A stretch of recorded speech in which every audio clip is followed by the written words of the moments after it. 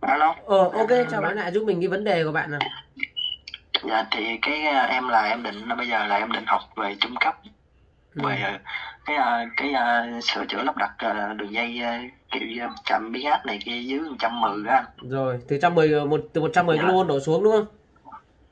Dạ đúng rồi. Ừ rồi. Đó là em học về cái hệ cái hệ trung cấp ừ. Dạ, tại vì cũng có một người à, người bạn em nó nó đang đi học trước mà hiện tại nó ra trường rồi á. Rồi. Hiện tại nó cũng à, có nó nói là cũng có cái đợt thi rồi giờ nó thi vô được rồi thì nói Rồi. giờ hiện tại thì cái à, cái cái cái nhân lực nó về về cái bên đó đó về cái hệ trung cấp ở địa phương em ở An Giang á ừ. thì à, nó nó kiểu nó nói là nó cũng đang thiếu và cực cần người làm rồi bây giờ nó nói là giờ em có thể thì em thi vô đây thi vô đó thì có gì à, tới cái khoảng tầm tầm cuối năm hay đó nó mở lớp nó nó tuyển người vô thì kiểu kêu em đăng ký vô thì coi được thì vô còn không Ừ. được thì kiểu cầm cái bằng đó đi làm công ty hay là để bảo dưỡng mấy cái à, cái chạm điện ở công ty cũng được thì em cần xin ý kiến của anh đó, để coi nó ổn không ừ anh có thấy ờ, em bảo là là đây nhá anh dựa vào cái cái ờ, mong muốn mong muốn xin việc của em trước nhá. Anh sẽ dựa Dạ. vào cái mong muốn xin việc của em trước thì anh thấy là em đang có đang có mong muốn là em làm việc tại điện lực ở địa phương đúng không dạ đúng rồi. Ừ.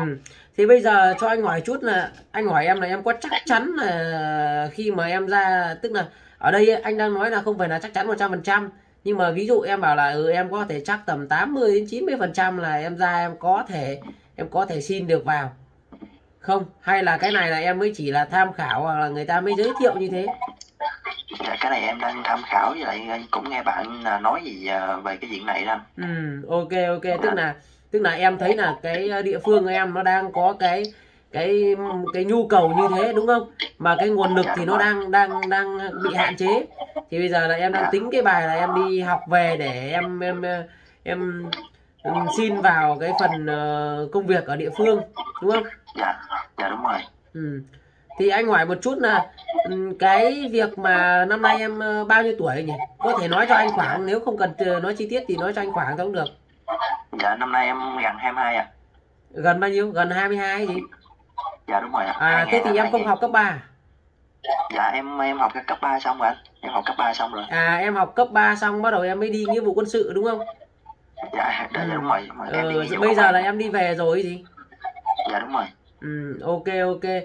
Thế thì bây giờ cái mong tư vấn cho em xem là ờ, bây giờ là em có nên lên đăng ký cái ngành học này không đúng không? Dạ đúng rồi. Dạ Ừ. đúng rồi. Cái việc mà đăng ký cho anh hỏi chút là cái trường này nó có gần chỗ em không? Dạ không mà em ở An Giang cái trường nằm ở ờ, quận 12 của thành phố Hồ Chí Minh đó. Nó Ừ. xa. Trường học nó sẽ xa nó xa đúng không? Thế anh hỏi chút Đúng là ừ, tại sao em lại em lại, lại chọn cái cái chuyên ngành về về hệ trung cấp quản lý vận hành để sửa chữa đường dây và trạm biến áp này dạ vì thứ nhất thì nó cái cái cái cái năm học nó ngắn kiểu nó phù hợp với cái hoàn cảnh gia đình của em hiện tại anh à rồi. Với lại ờ, dạ với lại bây giờ nếu mà em em học đại học thì nó nó nó nó nó, nó nhiều năm quá đi cho nên nó em thấy nó học trung cấp ra xong rồi kiểu mình được thì mình xin việc làm luôn cho nó dễ. Mà ok. Dạ. Được là mình sẽ xin việc làm luôn đúng không? Dạ đúng thế rồi anh hỏi em nhé thế sao em không học điện, công nghiệp hay điện dân dụng cái này ờ, cái cái đó em cũng ờ, chưa có tìm hiểu tới tại vì ờ, hiện tại là em đang có một cái người bạn ở trong ngành sẵn rồi có hiểu là có thể cái gì bạn nó có thể giúp em được vào cái công việc mà hiện tại em đang chọn á thì nó sẽ dễ hơn những cái cái ngành À. điện khác anh ok ok thế thì anh bảo như này. Dạ. Ờ, nếu mà nếu mà em đã tức là em đã xác định tức là bây giờ em đã xác định được cái đầu ra anh nói là không phải một trăm phần trăm nhưng mà tức là em đã có cái xu hướng xác định đầu ra rồi. Tức là mình Dạ. học xong mình ra mình đã làm gì rồi.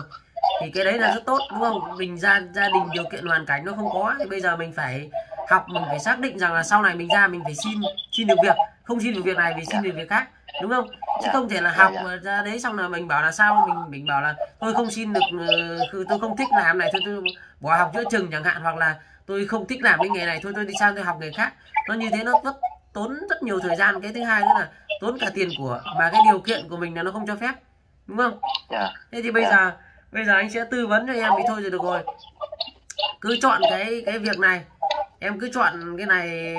Bây giờ em muốn mà để trang bị kiến thức mà vào học ấy thì trước mắt là mình chỉ cần trang bị những cái kiến thức cơ bản. Đấy kiến thức cơ bản về điện. Sau đó là những cái kiến thức về an toàn điện còn lại vào nhà trường họ sẽ đào tạo cho mình trong quá trình mình Dạ. được đào tạo đó mình sẽ học học dần. Đấy trong Dạ. quá trình mình mình đào tạo được đào tạo đấy mình sẽ học dần. Ờ, thiếu cái kiến thức nào thì mình bổ sung kiến thức đấy. Với lại chú ý cho anh cái vấn đề là này vì là nhá em đang đây là em đang bảo anh là đây nguyên văn này em ghi cho anh là gì? Hệ trung cấp quản lý vận hành sửa chữa đường dây trạm biến áp có điện áp là 110 kV trở xuống. Đúng không? Dạ đúng rồi. Ừ. dạ. Thế thì vậy rằng là với những cái kiến thức này thì em sẽ phải học nó chuyên về thứ nhất là về thiết bị điện. Đấy và chuyên về cái hệ thống điện nhiều hơn. Dạ thiết Đúng bị không? điện và hệ thống điện. Đúng rồi dạ. thiết bị điện và hệ thống điện nhiều hơn. Thì cái này với cái trình độ trung cấp của em thì không cần chuyên sâu. Dạ. Anh nói thật là không cần chuyên sâu mà chủ yếu là ừ, em em chịu khó. Tố chất để mà làm cái này đó là chịu khó cần cù và gì Dạ. cẩn thận không ngại khó ngại khổ bởi vì làm cái này sau này em ra ví dụ em em cũng muốn xin vào điện lực cũng được ok. Hoặc là em xin vào các công ty xây lắp cũng được. Hoặc là gì Dạ. em xin vào những cái công ty để em vận hành vận hành cái hệ thống điện của nó cũng được. Dạ. Thế nhưng mà anh nói là gì khi mà em học trung cấp là em xác định là công nhân. Đúng không em Dạ. đã học trung cấp là em phải xác định là công nhân tức là mình là cái người làm việc trực tiếp. Dạ. Đấy mình phải xác định rõ mình phải xác định rõ cái cái định hướng của mình. Nên là nếu mà mình đã là người làm trực tiếp rồi thì chỉ có mỗi cái việc là phải cần cù chăm chỉ. Nhá cần cù chăm Dạ, dạ, dạ. mình tư vấn cho bạn như thế thì còn lại là bạn còn hỏi gì không? Cần mình hỗ trợ gì nữa không dạ cái- em hỏi là cái à, cái cái ngành này nếu mà sau này khi mà ra thì mình có thể xin việc ở nhiều nơi cũng không nhất thiết là phải à, vô của điện lực. Đúng rồi chính xác. ờ, dạ đúng. Dạ rồi sau này nếu mà có cơ hội hoặc là có điều kiện thì mình nâng bằng lên cũng được luôn đúng không anh? Chính xác. Mà trường hợp như này em muốn muốn nâng bằng lên thì em phải tìm hiểu trước rằng là khi mà Dạ. em đăng ký vào cái hệ trung cấp của cái trường này thì trường này có hỗ trợ nâng bằng lên không? Ví dụ có hỗ trợ cho mình học liên thông lên không nhưng mà anh nghĩ là là sẽ có sẽ có học liên thông lên nhưng Dạ. mà liên thông trường Vâng. này thì ở đây thì anh thấy là tại vì là là trường cao đẳng nên là Dạ. chắc là chỉ liên thông là lên cao đẳng thôi còn nếu mà sau này em vẫn có cái cái việc mà em liên thông thẳng trực tiếp lên từ trung cấp lên đại học mà thế là bình thường Dạ. ừ. mà hình như em tìm hiểu là như cái trường này thấy cái cái cái ngành mà em đang chọn hình như nó không có lên được cao đẳng hay sao anh nó ờ, có mình mấy ngành khác hình như lên được mình như cái cái cái em chọn như nó lên không được cao đẳng hay sao ấy. Nếu nếu mà cái ờ, thế thì em phải tìm hiểu kỹ tại vì anh anh thì anh chưa tìm hiểu cái cái chỗ phần vấn đề này nhưng mà anh định hướng cho em thôi. Thì là em Dạ, sẽ dạ. phải tìm hiểu kỹ xem là ở cái ngành học này hoặc không em có cái số hotline của nhà trường ấy. Em gọi trực tiếp Dạ. cái số hotline của nhà trường gọi thẳng trực tiếp Dạ. lên chỗ phòng đào tạo đấy.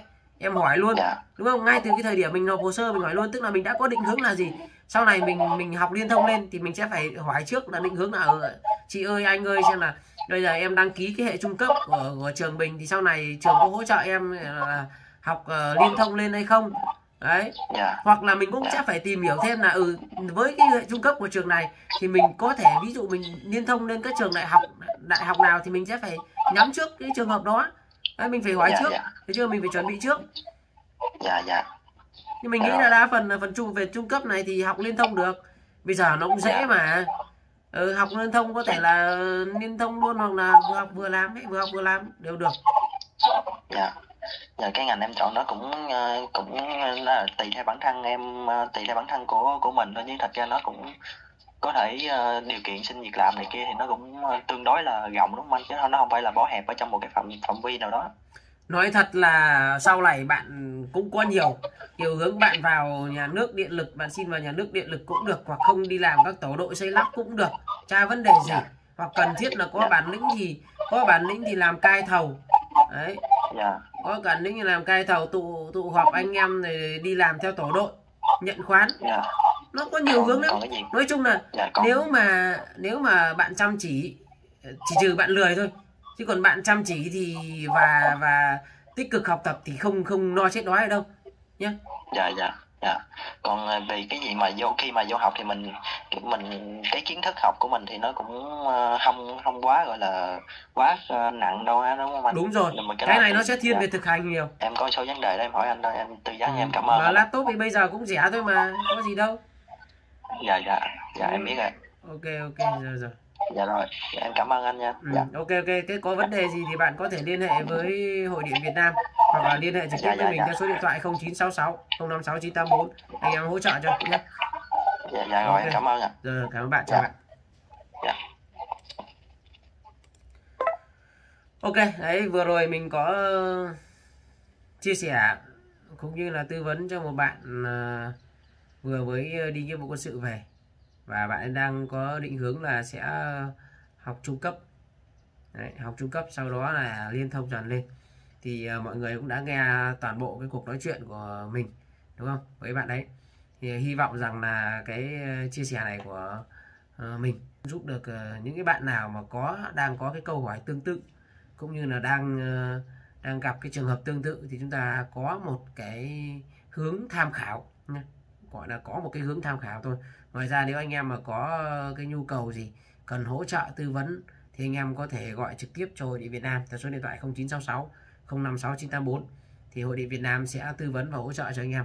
Cái này là hoàn toàn miễn phí nhé hội điện Việt Nam không không thu phí của anh em đâu. Cái này trên tinh thần là anh em hỗ trợ nhau giúp đỡ nhau rồi nha anh em nhé bây giờ xin chào và hẹn gặp lại mọi người ở những video sau. Bye bye tất cả mọi người. Nếu bạn thấy video bổ ích, hãy like và chia sẻ cho mọi người. Đừng quên đăng ký và ấn vào chuông thông báo để không bỏ lỡ video mới nhất nhé.